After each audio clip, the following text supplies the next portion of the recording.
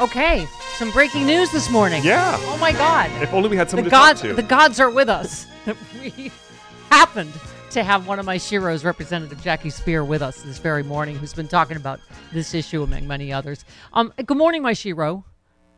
Good morning, Stephanie. Great to be with you. Great to be with you too. I, you know, well, I just have to say, I was a fan of yours a thousand years ago, but it's just, you know, as the country moves through these horrible uh, gun massacres, uh, you know, you speaking about your experience at, at, Jonestown and, uh, you know, and then you, you, you know, you bravely talking about your abortion when this whole Roe v. Wade uh, travesty happened. It's just you empower so many women every day, and I, I just want you to know that that we are just so proud of you in California. You you are an amazing representative. Well, thank you. That's that means a lot coming from you. Um, it, I just I do my job right. Um, I I represent people and not political um, extremists, and that's what the Republican has become. Uh, it represents political extremists. Yeah, absolutely right. Well, got to get your first reaction to the president saying this. He, you know, I mean, I know we we're still at the same you know problem with this filibuster, but you know, I do think that if you know Joe Manchin or whoever's going to say, you know, I was lied to by these Supreme Court justices who you know eh, that we put on a lifetime seat, then do something about it. Y- Do something about it It- to codify Roe, right?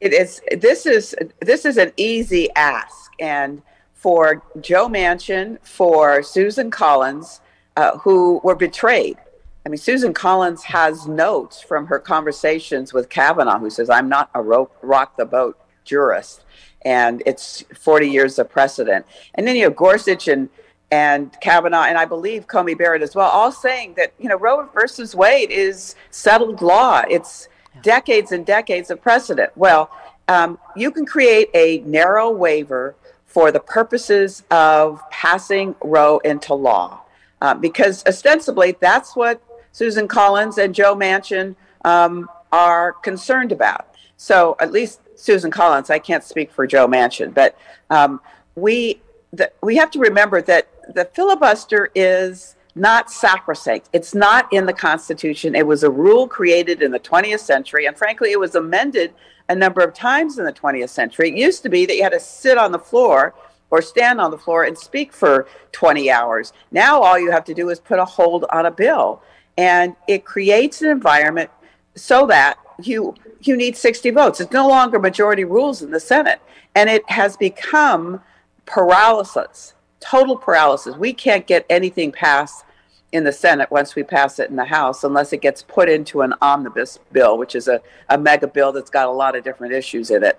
So, Yeah. Uh, well, I eh, you- the and- president's right. Yeah, and you had said yesterday was a dark day, but there's a path forward. We must elect two more pro-choice senators willing to blow up the filibuster to codify Roe. I mean, again, I don't want to get happy in June, but obviously Senator Warnock, is up ten points now in Georgia. Thank God. Um, you know, Fetterman's looking very good. I mean, we it's very doable. But I keep saying I think we have to do all of the above by any means necessary. So put the pressure on now about the filibuster. If we can't get it done, get enough senators in so we can, right? One step at a time. That's right. And you know, this is this is, is so extreme as to not be believed.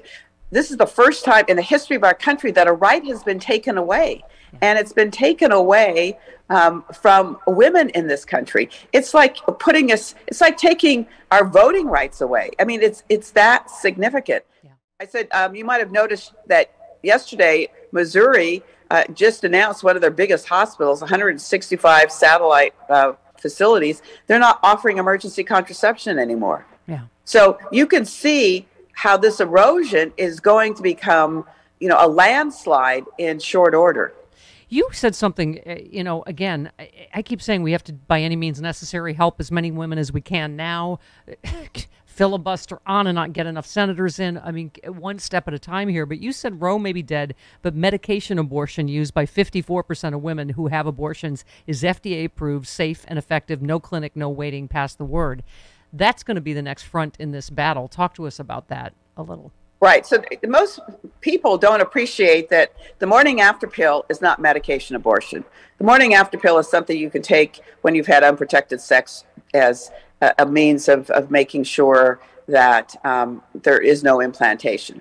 Um, the medication abortion is one that can be taken up to 12, maybe 11 to 12 weeks um, after you have been um, impregnated, and it, in which the um, actual you know embryo is on the side of the wall of your uterus. So yes, it's it's it's what we didn't have in the 70s. Um, it's what we do have today because of technology and advancements in pharmacology. And it is um, FDA approved since 2000. It's mifepristone.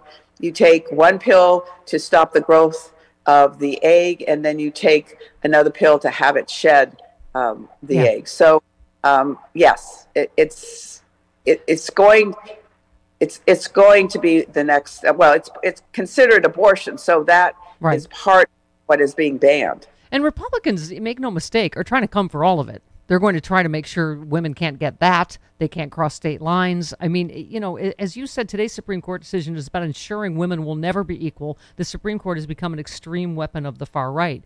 I mean, we're going to have to fight on every front, aren't we? Well, we are, and and that's what's so, you know, it really takes my breath away to think that the Supreme Court now is in total control of the Federalist Society, which is, you know, basically the most extreme part. It's not even the Republican Party anymore. It, it is it is something fairly diabolical. They they really want to take women back to being uh, chattel, and that is where we're headed because we do know that you know 54 percent or 59 percent of the women who actually get an abortion are already mothers. Yeah. They're mothers, yeah. and they want to make sure they can take care of the kids they have now, the Republicans are pro birth, but they are not pro life. Yeah. They're about making sure that, that those kids in low income families um, have food on the table or school lunch programs or any of the things that will sustain them. Um, they just want to make sure they're born. You know, your bravery on the House floor, as I said, was so inspirational. It, but even on Twitter, just such a great point. You said, My abortion saved my life. It allowed me to have another child, dedicate myself to public service. Most importantly, it was my decision. I'll never stop fighting for the one in four women who have an abortion. I mean, that's why this is such a political earthquake. That number right there, one in four women. I mean, you know, you know, you know what's really interesting, Stephanie? I have had personal friends who I've known for decades who have never told me that they had an abortion and now are speaking about because it was you know it was so suppressed in most people's worlds that they were um, they were ashamed about it yeah. you know what drives me crazy on this issue is that we don't talk about the impregnator at all yeah i was saying you had that great idea about you know the impregnator should have to put up a $350000 bond to make sure right. the child is taken care of i mean that's for right. life yeah it takes two, you know? Yeah. It's not immaculate conception. Yeah. I'm gay, and even I understand that. Now, um, you know, you all you made another great point just about the midterms. I'm sure you've seen, not to get happy, but there's been a 10 point swing toward Democrats just in the last few weeks. I, will, and we'll get to January 6th in a minute. I think that's having a much bigger impact than people imagine. But I think Roe is, you just said we must make our voices heard this November, like our lives and the lives of our daughters and granddaughters depend on it because they do. And I think that is really eh, going to hyperpower November don't you? I mean, it, it, this is you cannot go against what vast majorities of the American people want. I, I, I think we, we can't have minority rule forever. And I think what's interesting about this issue, polling shows that it's young men who are more uh, committed to uh, protecting Roe than even women. Yeah. Because they, I guess in some respects, they appreciate the ramifications. Yeah. Yeah. Well, child support starts at what, what percentage of your paycheck? I mean, this is not just a women's issue. I keep saying it too. This is not a women's issue. This is everybody's issue. Um, let's talk about young woman, woman, woman. You said Cassidy Hutchinson Hutchinson, age 26, former aide to Mark Meadows, has more integrity, courage, and devotion to the Constitution than all the clowns known as the president's men combined. Um, that is really, I, I don't know your reaction, but even knowing as much as we know, I've been shocked by, by these hearings thus far. What, what is your reaction? Oh, they've been powerful, potent, um, and extremely well done. I mean, there hasn't been grandstanding. Uh, it, they've actually been uh, choreographed uh, extremely well.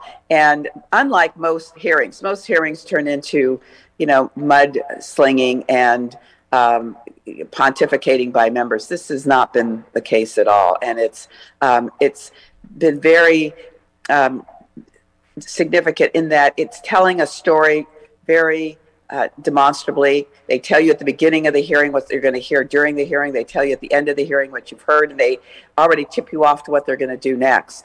And I think the obstruction of justice is going to play heavy in the next hearing because it appears that uh, Donald Trump has said his minions to people to tell them to shut up. And uh, that, and, of course, is obstructing justice. And Congresswoman, I can't, you know, I thought of you again because you talked about this on January 6th or the, shortly thereafter, your trauma having been through a gun massacre and now learning that they were armed and Trump knew they were armed and aimed them at you and the, uh, the other congresspeople and the Capitol.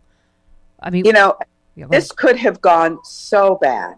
Uh, we could have had, uh, you know, truly a massacre in the U.S. Capitol. It it was that close and lying on the floor in the gallery of the house when that gunshot rang out, I really thought it was over. Yeah. I just, there was this sense of resignation. And I remember just placing my cheek on the, the cold floor and thinking, I, I didn't die in Guyana. I didn't die in this foreign country. I'm going to die in what we call this tabernacle of democracy. It was, um, I, I can't begin to tell you how how frightening it was. Yeah, no, I, I, can't imagine your trauma having been a member that has been through it already. I mean, I. Ah, you said you tweeted former General Michael Flynn pled the fifth when asked and he believe, if he believed in the transful, tr- peaceful transfer of power. You said, mind you, taxpayers are paying $160,000 a year for his pension. Why is he not being called back up and court martialed at the very least? Say, I, I'm thrilled that you actually read my Oh my God, I read all of them. but this is what's really interesting. Once you're a general, you could be called back into service at any time. Yeah. So you are expected to follow what's called the Uniform Code of Military Justice and obviously yeah. comply with the Constitution of the United States. Here is Michael Flynn, a, a two star general, I believe, um, who said under oath that he was pleading the fifth as to whether or not he believed in a peaceful transfer of power in the United States. We as taxpayers pay a minimum of $160,000 a year in his pension. He shouldn't get a pension from no. the taxpayer. No longer someone who has taken an oath and will actually live by it. Yeah, this is a seditious conspiracy against the United States of America, and I, I also like your tweets because they're funny. You just said I'll never look at ketchup the same way. Um, just the fact that there was as much talk about the 25th Amendment means Congresswoman they know he's a dangerous lunatic that has no business with the nuclear launch codes. And I, I just I don't feel like Merrick Garland has a choice, as many you know people have said who are even on the committee on the January 6th committee, but to indict Donald Trump and to prosecute to the fullest attempt, uh, fullest uh, extent of the law. What is your take thus far on what we've seen? So Merrick Garland is a judge. He's he you know comes to the job as prosecutor from having been a judge. Yeah. So he is going to be meticulous in case. And for those that think he's moving too slow, I mean, these kinds of cases take time. And when we get word that he has just gotten a search warrant to um, check out Clark's um, home, and he was the one who was part of the conspiracy um, and was a he was a deputy AG on the environment, and President Trump was about to make him the acting attorney general of this country. Uh, be calling the former president a lunatic is is not going too far, um, but he's just recently has um, gone to Eastman's phone and gotten a search warrant yeah. to allow them to unlock that phone uh, by using facial yeah. recognition. So, yes, I think that he's building the case. And there has never been a stronger case in my view. Yeah, I agree. Um, Congresswoman, always such an honor. Honestly, please come back uh, more more often if I'm not too creepy. Would love to. in in my adoration of you. Okay. Thanks, Representative Jackie Speier of the great state of California. Thank you so much.